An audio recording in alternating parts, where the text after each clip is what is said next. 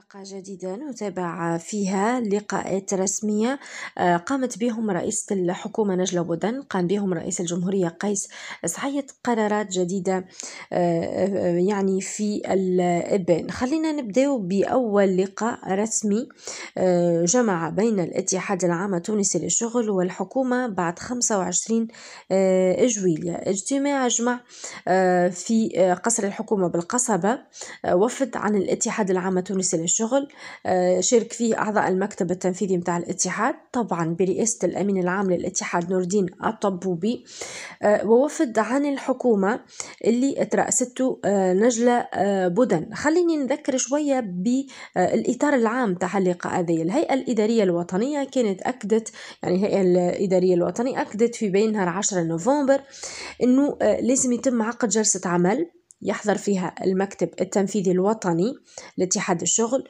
والحكومة أعضاء الحكومة الجديدة بويسكو هما ما تقبلوش بالكل. وما حكيوش وتصريحات عن بعد معناه يحكيو بتصريحات عن بعد خليهم يتقابلوا لازم تنعقد جلسة آه، خلي تكون مناسبة باش يستأنفوا الحوار الاجتماعي. فتح المفاوضات في الوظيفة العمومية والقطاع العام وفتح أبرز الملفات الأساسية بصفة تشاركية آه، اللقاء هذايا برشا ناس قالت هاكا عباد تعمل على الصدام بين الحكومة وبين الاتحاد العام التونسي للشغل ولكن الاتحاد مشى وقابل في جلسة رسمية وقابل مع الحكومة. أيضا نلقاو آه، وأنه زاد رئيس الجمهورية قاعد يتحرك برشا وينشط هالايامات برشا فما مقابلة في الفترة القليلة القادمة مع نور الدين الطبوبي الأمين العام للاتحاد العام التونسي للشغل. لقاء تم تأجيله في عدة مرات.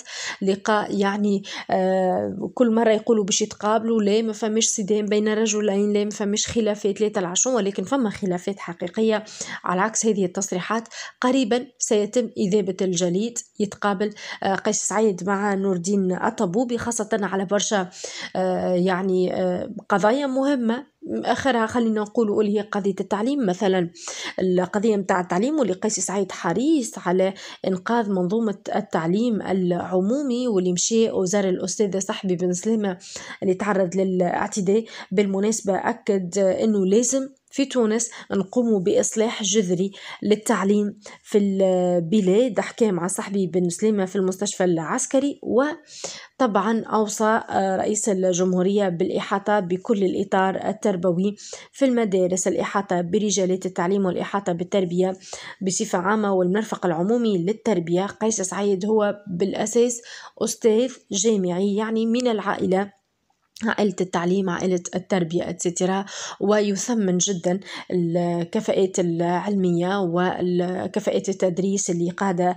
آه، يعني تبني في أجيال في تونس واللي صار هو حادثة شنيعة تم إدانتها واستنكارها بصفة آه، كبيرة. آه، نلقاو زاد بعض الأطراف إلى جانب أنها تعلق الأمال على الخصومات بين قيس سعيد ونور الدين الطبوبي بين الحكومة والاتحاد العام التونسي للشغل. نلقاو برشا ناس تهدد في أنه صندوق النقد الدولي باش يتخلى على تونس بانه الحكومة هذه ماهيش كفءه وماهيش باش تكون قادرة إنها تتفاوض مع صندوق النقد الدولي. حكومة جت في ظروف استثنائية تخدم في ظروف استثنائية بالتالي ماهيش باش تنجم تجاري المفاوضات. هذا اللي آه، فندوا صندوق النقد الدولي بيدو. صندوق النقد الدولي قال اللي هو حريص على الوقوف إلى جانب تونس. هذا تصريح جهاد أزعور مدير بإدارة صندوق النقد آه، الدولي. اللي أكد أنه الصندوق آه، مهتم جدا بدعم تونس وأنه يساندها ويدعمها الدعم اللازم. قال أزعور اللي بعد اللي صار في الأردن المحادثات الفنية بين الصندوق والسلطات التونسية متواصلة حاليا لتدارس إمكانية إطلاق برنامج تمويل جديد لفائدة التونسيين على حد تعبيره. أيضا لقاءات أخرى آه، نجلة بودن تقابلت مع رئيس الجمهورية قيس آه، سعيد حكيت له على نتائج مشاركتها في مؤتمر باريس اللي كان مؤتمر مهم مؤتمر باريس حول ليبيا شاركت في عدة عدة أطراف على هامش هالمؤتمر نجلة بودن عقدت عدة لقاءات. أبرز لقاء خليني نقول اللي أثار جدل كبير في تونس هو لقائها مع الرئيس المصري عبد الفتاح السيسي. تعرفوا حساسية الموضوع هذايا وطبعا حكيت مع قيس سعيد على عدة أمور.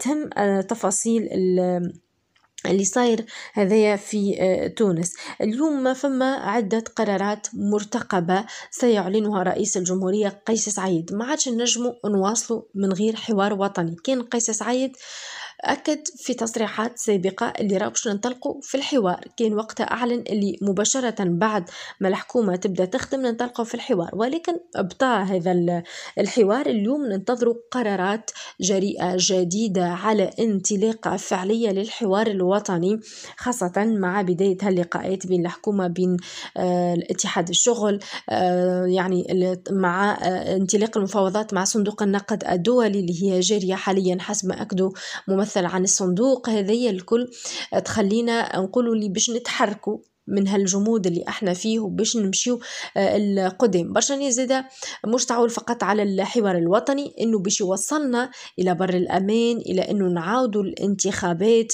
آه، التشريعية السابقة لأوانها يرجع البرلمان هذايا.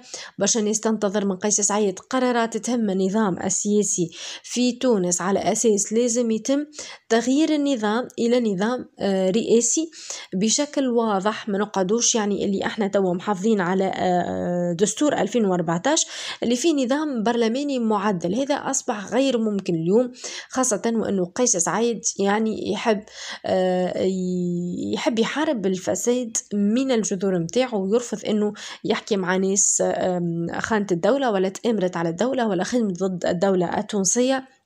هذا الكل يخلينا ننتظروا ونستشرفوا اللي فما تطورات كبيرة باش تصير في تونس في علاقة بالحوار الوطني في علاقة بالانتخابات التشريعية السابقة لأوانها في علاقة بتعديل القانون الانتخابي في علاقة بالنظام السياسي في البلاد اللي اليوم من الأفضل أنه يتغير في أسرع وقت ممكن ولكن الكل شيء لازم تعودنا أنه قيس سعيد ياخذ وقته قبل ما يخطو خطوة. علاش؟ باش يقرأ العواقب الكل. اليوم قيس سعيد زعما ينجم يمشي ديريكتومون إلى تغيير النظام السياسي إلى رئاسي وإلا باش يكون مستحق إلى إجراء استفتاء شعبي يقول إيه هو لا يقول لا. تصوروا الاستفتاء الشعبي كان يقول لا. هذا باش يكون إحراج كبير لرئيس الجمهورية بعد 25 جويلية خاصة آه إنه يمشي إلى استفتاء باش يقول نعملوا آه يعني نبدلوا النظام السياسي إلى رئاسي وإلا لا. وتكون النتيجة لا. أو تكون النسبة غير كافية وإلا متقاربين. آه، وقتها باش تكشف الناس اللي حقيقة هما مع قيس سعيد والناس اللي هما ضد قيس سعيد. يمكن آه، هذايا باش نشوفوا آه، يعني قرارات لازمها تكون قرارات في السريع. معناها الناس كلها تستنى منظمات شخصيات دول صناديق مانحة اتسترا كلها تستنى شنو باش يصير في الفترة القادمة. فيما يتعلق بهذه الأمور اللي هي راهي مهمة ياسر في الدولة التونسية. وما لازمش نستغنيو عليهم